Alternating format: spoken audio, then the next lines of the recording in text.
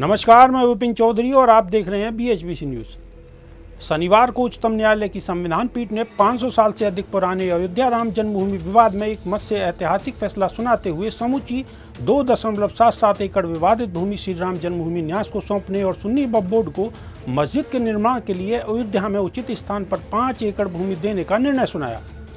जिसके बाद से कई हस्तियों द्वारा इस निर्णय को सम्मान करने और शांति बनाए रखने की अपील की जा रही है। इस फैसले पर सलमान खान के पिता सलीम खान का बयान सामने आया है। उन्होंने कहा है कि अयोध्या में मुस्लिमों को दी जाने वाली पाँच एकड़ भूमि पर स्कूल बनाया जाना चाहिए। उन्होंने मुस्लिम समुदाय से अपील करते हुए कहा है कि मोहब्बत ज़ाहिर करिए और माफ़ करिए। अब इस मुद्दे को फिर से मत कुरे दिए।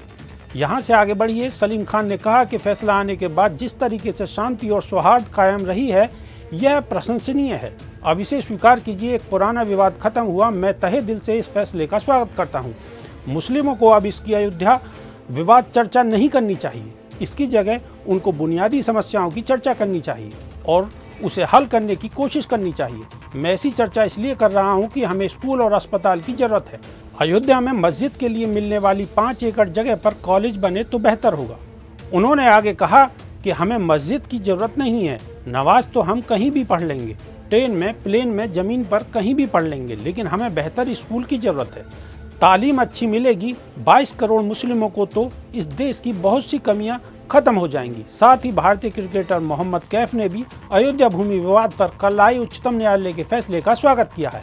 मोहम्मद कैफ ने अपने आधिकारिक ट्विटर अकाउंट पर कहा है कि मैं सुप्रीम कोर्ट के फैसले का स्वागत करता हूँ और कहा कि ऐसा भारत में ही हो सकता है जहाँ एक मुस्लिम जज एस अब्दुल नज़ीर मंदिर के पक्ष में फैसला सुनाने वाले जजों की बेंच का हिस्सा हों और दूसरा मुस्लिम व्यक्ति के के मोहम्मद इसके लिए ऐतिहासिक साक्ष्य मुहैया कराएँ।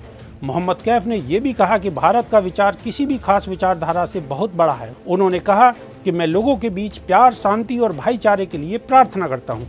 ब्यूरो रिपोर्ट बी न्यूज़ रोज की ताज़ा खबरें सुनने के लिए सब्सक्राइब करें बी एच न्यूज़ चैनल साथ ही रोज के नोटिफिकेशन जानने के लिए दबाएँ बेल आइकन साथ ही हमें अपनी राय देने के लिए हमारी वीडियो पर कमेंट करके बताएँ और वीडियोस को लाइक और शेयर करना बिल्कुल ना भूलें।